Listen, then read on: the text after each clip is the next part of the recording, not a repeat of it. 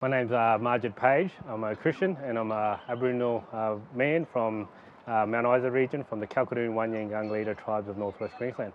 So at the moment I'm a GP registrar, um, uh, completing my uh, uh, fellowship, so that's with the Rural Generalist. Um, so yeah, currently I'm a GP registrar uh, doing my GP terms. So I went to school, uh, Mount Isa. I'm from Mount Isa, born and bred. So I uh, went to two different primary schools in uh, in uh, Mount Isa, and then I went to uh, Mount Isa High School and also Catholic High School in Mount Isa. In amongst that, I also went to uh, a couple of boarding schools. So I went to, uh, I was billeted out in Townsville at a at Townsville State High School. That was in grade nine, half grade nine and half of grade ten. Um, and then I also went to Nudgee College for grade 11 and half of grade 12, but then I finished again here at Mount Isa High School. Apparently, I always wanted to become a doctor. Um, that was uh, information from my elders uh, when I was younger. Um, apparently, I always wanted to go into that field because I saw a lot of uh, my uh, uh, loved ones becoming sick. The first time I remembered, I don't remember I wanted to become a doctor, but I wanted to help my people and health was when uh, is, I was in late primary school when you know, you see a lot of your elders and your aunties and uncles and cousins go into hospital and they don't come out, or if they can't, if, or if they do come out, they don't come out in a, in, in a great state. So I always wanted to help in some way, shape, or form. At the beginning, um, no, but I did um, have one Aboriginal doctor uh, who took me under his wing. His name is Dr. Louis Peachey.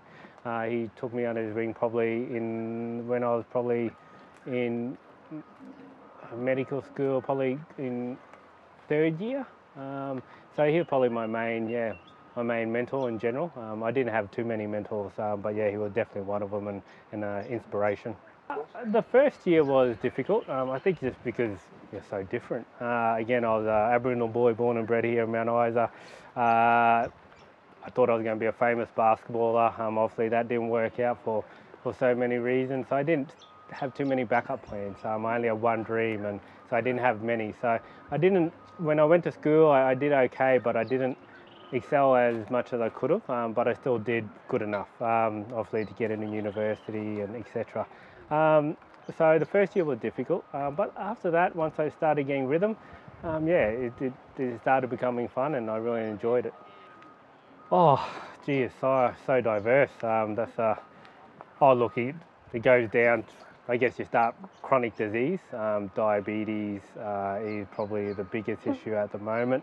Um, but then you know you got obesity is becoming you know a, a big issue. I, I, guess all around Australia, but especially also for us uh, Indigenous mob here. Um, you know infections um, from you know your normal viral infections, your cough and colds to sexual transmitted infections. Everything is becoming a, a little bit more serious. I feel so. I mean, it's so diverse, and, and, and being an Indigenous doctor in an Indigenous community, um, it's, it's, so high risk, um, and, and, our, and our people need so much help. The simple answer is different. Um, you know, go from, you know, it's, it's like this you got a kid who is being raised in, a, say, an Asian family, and then you say, well, why don't you just take that kid and put him into um, an Aboriginal family or, or a non-Indigenous family, or it's different. Everything's different from from the house. The house looks different from the grass and the trees and the uh, uh, uh so from the agriculture to to even the, the doorbell walking in. Some people can have shoes. Asian people, you shouldn't have shoes. Um, the fridge is going to be different. The food, it just just everything is different. So I think if you put it in that perspective, um, you can understand why, for example, Indigenous people uh, will have so much trouble in a Western society health system. Um, and I think, look, another way I could teach that is, you know, we always talk about Aboriginal culture, culture, and and but it's more than a culture. Um, mean, a lot of, for a lot of Aboriginal people, it's, it's being ab- Aboriginality is actually a religion. Um, so you know, it's, it's really panentheism, which means um, it's spirituality with theistic approaches. So pretty much Buddhism and Islam, for example, you have to do certain things for their gods to be happy. Um, and that's very similar for Aboriginal people too, but there's a big spiritual approach to it. So I guess another example is if you have a Jehovah Witness and they're bleeding a lot um, and they need blood, would you give them blood? No, you wouldn't because that means that life isn't worth living and why would you do that? So if you put that in perspective for Aboriginal people in Aboriginal religion, why would you want Aboriginal people to be put into religion, into say the mainstream health system whereby no ideas or, or, or beliefs actually come together, they all collide. Um, it becomes pretty messy and I think that's why uh, Indigenous health is, is so messy at this stage.